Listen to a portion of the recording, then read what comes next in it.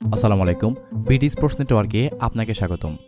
টানা তৃতীয় ম্যাচে টস জেতার পর আজ বাংলাদেশ অধিনায়ক মাহমুদুল্লাহ রিয়াদ বলেছেন, অন্তত একশো চল্লিশ রান করতে চায় তার দল। কিন্তু তিন পরিবর্তন নিয়ে ব্যাটিংয়ে নামার পর পরিকল্পনার ধারে কাছেও যেতে পারেনি বাংলাদেশ।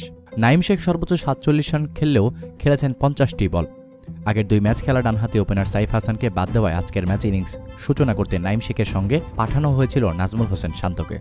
ইনিংসের দ্বিতীয় ওভারে প্রথম বলে দারুণ এক স্কোয়ার কাটে প্রথম বাউন্ডারি হাঁকিয়েছেন তিনি। কিন্তু অভিষিক্ত শাহনওয়াজ দাহানির করা ইয়র্কার লেন্থের পরের বলে সরাসরি বোল্ড হয়ে যান পাঁচ রান করা শান্ত।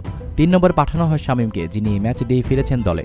পাওয়ার পেতে আর বিপদ ঘটতে দেননি শামীম ও নাইম। উইকেটে এসে প্রথম বলে বাউন্ডারি হাঁকিয়েছিলেন। দলীয় সাঁত্রিশ রানে দুই উইকেট হারিয়ে ফেলায় একটু চাপিয়ে পড়ে গিয়েছিল বাংলাদেশ ক্রিকেট দল।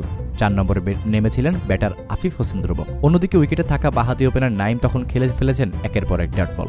আফিফের ব্যাট থেকে আসে একুশ বলে বিশ রান। আফিফ ফিরে গেলে নাইম সেই ওভার থেকে ফায়দা নিতে ভুল করেনি। তৃতীয় বলে দুই রান নেওয়ার পর চতুর্থ বলে কাউ কর্নার দিয়ে বিশাল ছক্কা হাঁকিয়েছেন। শেষ পর্যন্ত পনেরো অবশেষে বাংলাদেশের সংগ্রহ দাঁড়িয়েছিল তিন উইকেটে উননব্বইটি রান। সেখান থেকে একশো চব্বিশ রান তুলতে সক্ষম হয়েছে বাংলাদেশ ক্রিকেট দল। পুঁজিটা বরাবরের মতোই খাটো, মাত্র একশো চব্বিশ রানের। এত ছোট পুঁজি নিয়ে কতটুকুই বা লড়াই করা যায়?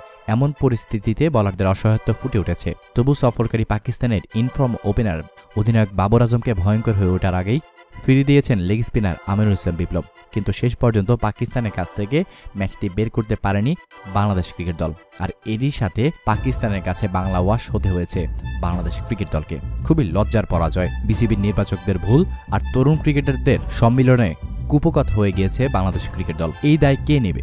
আপনার কাছে প্রশ্ন রাখতে চাই দর্শক। এতক্ষণ সঙ্গে থাকার জন্য আপনাকে জানাচ্ছি বিশেষ ধন্যবাদ।